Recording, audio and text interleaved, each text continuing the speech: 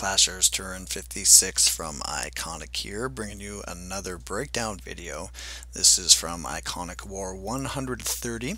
I was able to get three stars on this base using Surgical Hogs, a uh, Surgical Hogowiwi specifically, and I'll go ahead and show you how I was able to do that. Uh, so as always with these attacks, first we'll look at the base itself, we'll talk about uh, why I chose to attack it the way I did, and then we'll go ahead and watch the replay. So this was a first attack on this base. I didn't know where any of the trap locations were. Um, my guess was that the Teslas were going to be uh, quad Teslas in the core and that he would have uh, double giant bombs running around through here as well. Uh, there's also the chance, of course, that he was going to have his bomb split up a little bit, do maybe something like this, and have his bomb spread around. Um, I really didn't know that, you know, my best guess was quad Teslas in the core, but I was kind of ready for uh, a little bit of everything, and that's frankly, that's part of the reason why I chose a surgical deployment on this base as opposed to just mass hogs, is I just wasn't sure about where those were. So, you know, I didn't want to risk losing all of my hogs to a double giant bomb pair. Uh, so I figured spread them out a little bit, uh, you know, cut your losses if you do have a catastrophic event with a bomb. It'll be a smaller group of hogs going down as opposed to all of your hogs. Uh, so let's look at how I was able to do this. Uh, started off with a lure. I dropped one giant in on this cannon here to distract and then I've got four hogs that I push in. Probably could have gotten away with three, but I wanted to make sure just in case. Uh, but uh, those 25 troop space, they get me both of these defenses as well as the full lure. And I also got a Tesla to pop over here as well. So I knew that my guess was a little bit off, and at this point I figured it was probably staggered Teslas and giant bombs. Uh, so once I have the lure, I'm going to do a little bit of uh, barch over here in the east corner to drag them over. And then I'm going to drop my uh, standard kill squad, uh, two witches, and my archer queen. Uh, this kill squad takes a long time. This was the frustrating part of the attack because it took a while uh, getting all the troops out here, first the wizards, then the loon, then the witch, and I tried to get my funnel down a little bit too early, and I lost uh, all of my wizards because of it. I dropped them, I guess it was over here first. Um, trying to cut these buildings off, create a funnel. I only brought four wizards. I lost all of them trying to make my funnel, but I eventually did get my funnel up. Uh, and then I dropped my golem down over here.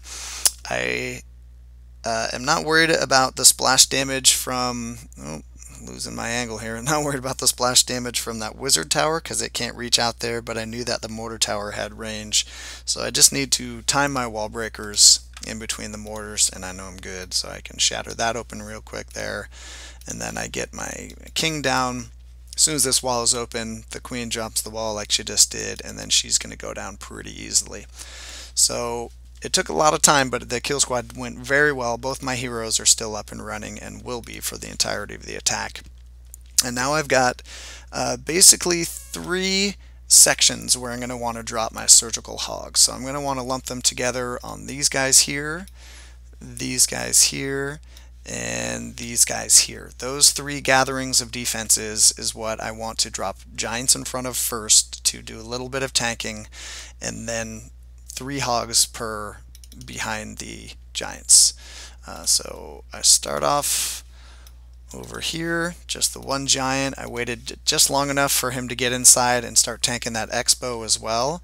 And then I've got three hogs in on each of those. And then I move up to the north corner over here, pretty much the exact same thing. Wait for the giant to get in, and then three there. Uh, I think at this point I come back down here and get a couple of heal spells down before I move over here and get my last batch down with the hogs. I only have uh, eight total, so I just send in two on the mortar there. I wanted to take out the point defense as fast as I could. And then a couple of or a couple of uh, heal spells left over as well. They go down something like that. Um, and at the end. Uh, they all meet back up together. I've got maybe 10 or so hogs that all meet up together in the core. Uh, a little bit nervous about that level 25 Barb King. He does do a fair amount of damage, taking out some of his first waves of hogs down here in the south, as well as some more of the core hogs, but they end up taking him down, and I have just enough time left for cleanup. So clear that off, and let's go ahead and watch this replay.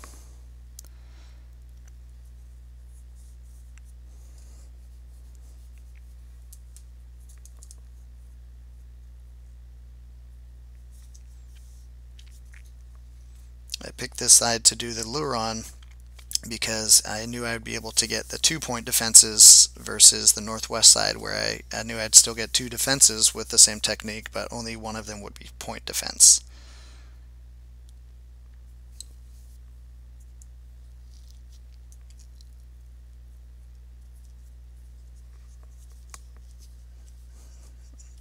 And here comes the very very slow clan castle kill. There I go, dropping my wizards down a little bit too soon, gathering the attention of that archer tower and the clan castle troops. But uh, it was worth it because I did get that funnel up.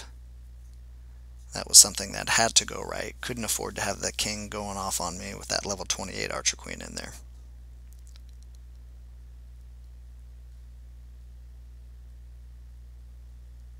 And then once I know the funnel's up, there goes the king down. He goes right to that queen, takes her out with three whacks of his sword, and then here comes the surgical, starting south, then north, then northwest.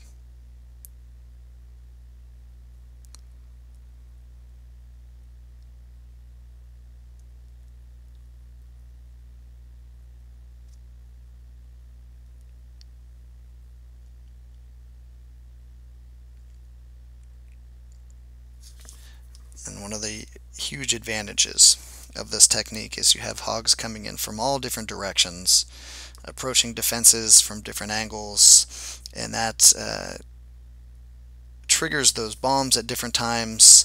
Even if there are double sets, uh, it uh, you're able to trigger them one at a time usually, and you avoid the big catastrophic losses where it wipes out an entire section of your hogs.